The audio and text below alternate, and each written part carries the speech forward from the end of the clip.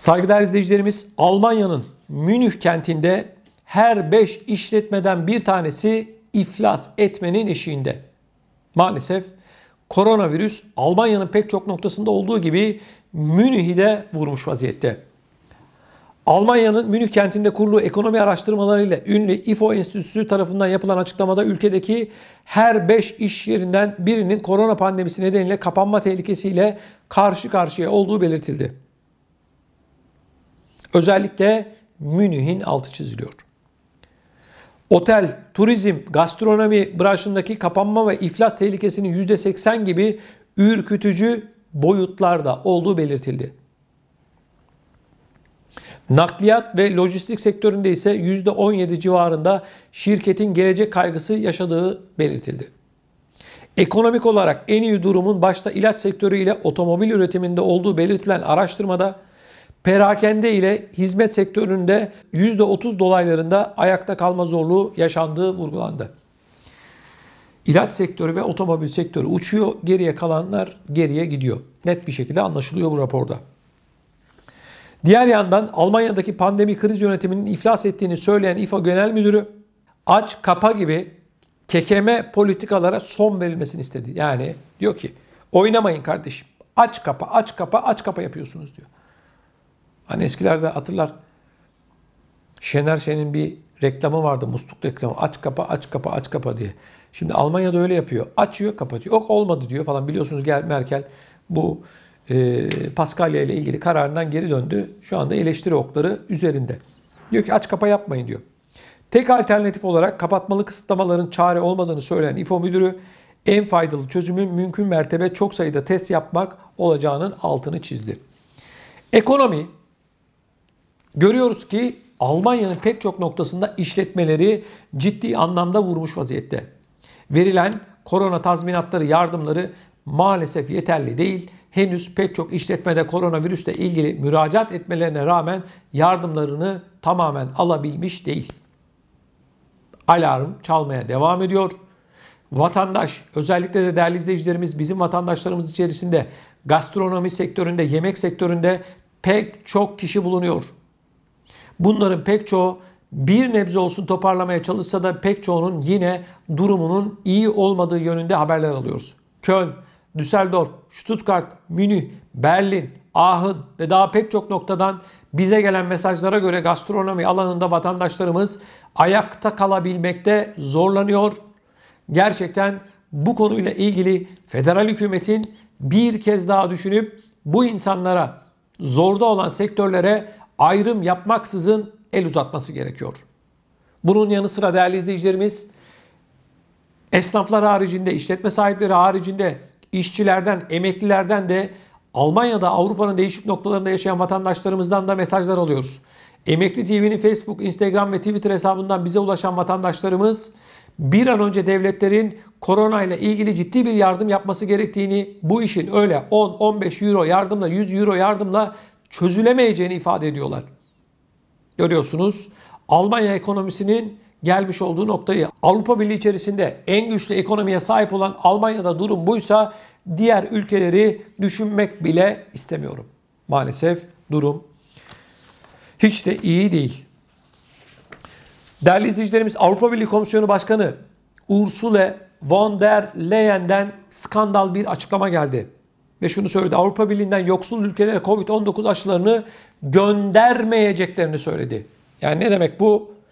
Diğer ülkeler ölsün, biz aşıları alalım. Bizim paramız var. Afrika ölsün, Orta Doğu ölsün, Filipinler ölsün, Asya'daki fakirler ölsün, ölsün, ölsün ama bize bir şey olmasın. Kim söylüyor? Avrupa Birliği Komisyonu Başkanı Ursula von der Leyen. Leyen, evet Leyen. Evet, Alman Funke Medya'ya konuşan Leyen şunları söyledi. Üye devletlerden aşıları kendilerinin alması için çok fazla baskı var.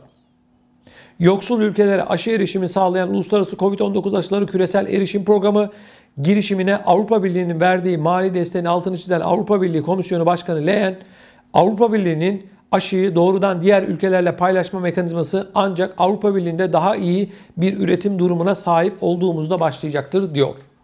Ne diyor? Ölün, ölmeye devam edin. Yıllarca, onlarca yıl, yüzlerce yıl Afrika'yı sömüren Avrupa Birliği ülkeleri şimdi Afrika'daki bir ülkeye bir tek aşı bile vermiyor. Ülkeleri yediler, içtiler, bitirdiler ama görüyoruz ki hiç acımaları yok. Hiç vicdanları yok. Vahşi kapitalizmin ayak sesleri. Önce ben, önce ben, önce ben. Bencillik had safhada Avrupa'da. İnsanlarda da devletlerde de. Maalesef. Ölün, ölün, ölün. Ama bizden aşı istemeyin diyorlar değerli izleyicilerim. Benim anladığım bu. Bilmiyorum siz nasıl anlıyorsunuz? Lütfen bu yayınımızın altına yorum yapın. Hepsini tek tek okuyacağım. Yine sorunlarınız varsa lütfen videoların altına yazabilirsiniz. Sosyal medyadan da bana ulaştırabilirsiniz. Değerli izleyicilerimiz bir araştırma yayınlandı. Bu araştırmaya göre Alman erkekleri kadınlara göre ev almakta daha istekli ve bahçeli ev almakta istekli. Önce bahçeli ev diyorlar. Bakalım haberin detayları neler.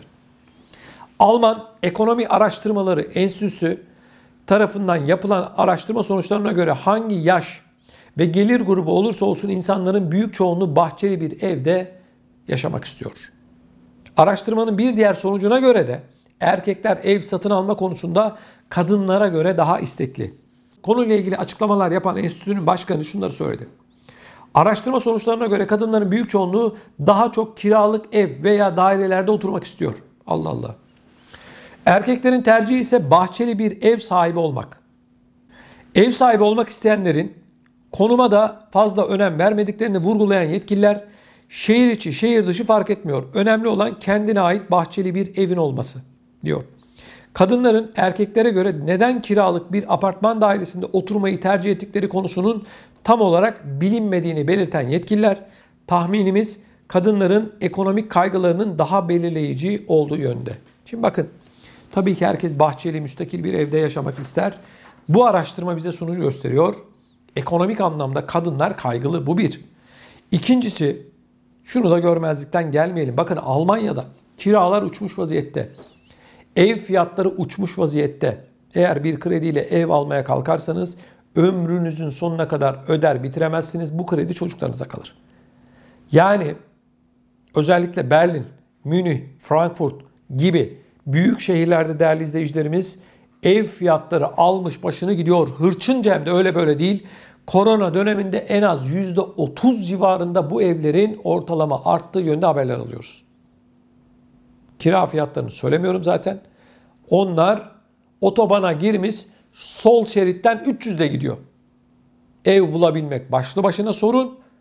Ev zaten yok pek çok yerde ciddi bir ev sıkıntısı yaşanıyor değerli izleyicilerimiz Almanya'da.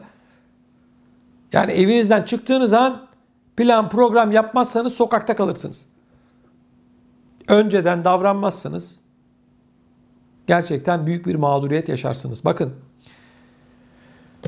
sosyal yardım yapan kuruluşlar, kurumlar, kiralık ev için kendilerine belediyelere başvuranlara aylar sonrasına gelin bakarız diyorlar. Yok sıraya yazıyoruz diyorlar bekliyorlar. Ev yok. Almanya'da ev yok. Kiralar pahalı, ev fiyatları pahalı. Bu gidişat nereye gidecek inanın bilmiyorum. Çünkü bize yine Emekli TV'ye çok sayıda vatandaşımızdan bu konuyla ilgili mesajlar geliyor.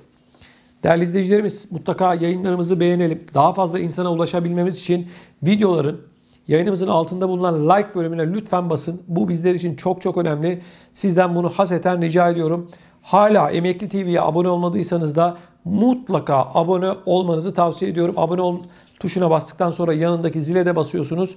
Emekli TV'de yayınlar başladığında, yeni videolar yayınlandığında hemen haberdar olmak istiyorsanız, nerede yaşıyorsanız yaşayın hemen sizinle ilgili haberlere ulaşabilirsiniz Emekli TV'den.